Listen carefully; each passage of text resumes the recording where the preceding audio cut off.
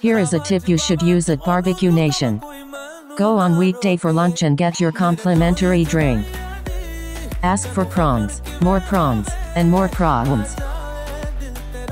Celebrate and get a complimentary cake.